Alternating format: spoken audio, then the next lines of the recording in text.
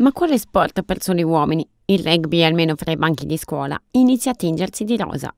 Fra le 22 formazioni che hanno partecipato questa mattina ai campionati provinciali studenteschi, ben sei erano formate da sole ragazze.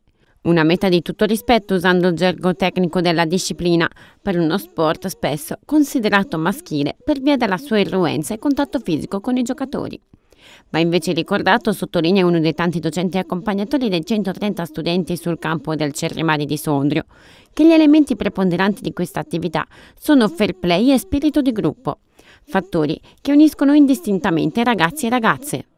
Disciplina estremamente educativa perché rispetta, si basa su, sull'estremo rispetto dell'avversario, di se stesso, dell'arbitro e è lo sport scolastico per eccellenza. Abitua alla sofferenza, è uno sport di impatto, è uno sport duro e di conseguenza soprattutto con le nuove generazioni dove, e con questa nuova Italia, questa nuova società dove ci stiamo muovendo dobbiamo ricominciare a imparare a toglierci le pulci come bisogna farle. E a quanto pare il rugby da buon cupido ha fatto breccia nei cuori delle studentesse.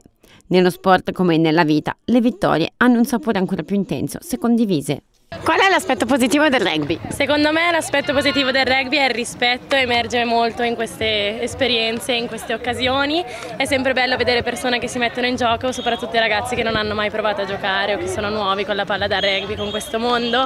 È sempre bello vederli mettersi in gioco e provare. È da sfatare il mito che il rugby quindi è solo uno sport per maschi. Sì, perché sono la prima che gioca. ti dà l'adrenalina in più, poi ti aiuta con la squadra e è una grande, una grande famiglia, una famiglia in più diciamo.